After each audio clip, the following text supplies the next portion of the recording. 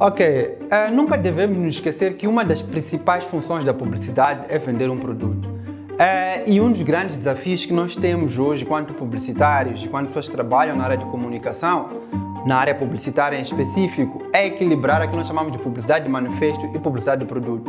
Há uma tendência de que tudo hoje em dia tem que ser é, embrulhado dentro de um discurso sobre sonhos, sobre pensar no ti, sobre o seu atendimento especializado, sobre o seu conforto.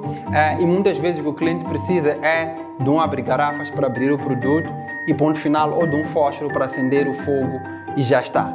Então, há uma tendência que nós vimos no mercado e vê-se hoje claramente que o produto a ser deixado de lado, é, há uma tendência de é, é, floreadas que acabam criando um manifesto maior mais do que a marca consegue entregar e isso cria um outro conflito que é, prometemos que vamos realizar o sonho dos clientes, prometemos que o cliente é a nossa prioridade, prometemos que a, a, o cliente é a saúde dele está em primeiro lugar, mas quando ele chega no balcão, chega no lugar onde nós oferecemos aquilo que são os nossos serviços, não tem álcool para desinfetar as mãos, é, o sistema está indisponível e depois disso cria um conflito entre o que, que a marca promete e o que, que a marca consegue cumprir. Então, este é um dos grandes desafios que nós temos, que é como equilibrar a publicidade de manifesto e a publicidade de produto. Desde sempre o produto foi o herói da história e nunca vai deixar de ser o herói da história. Mas não existem apenas heróis únicos. O cliente também é um dos heróis.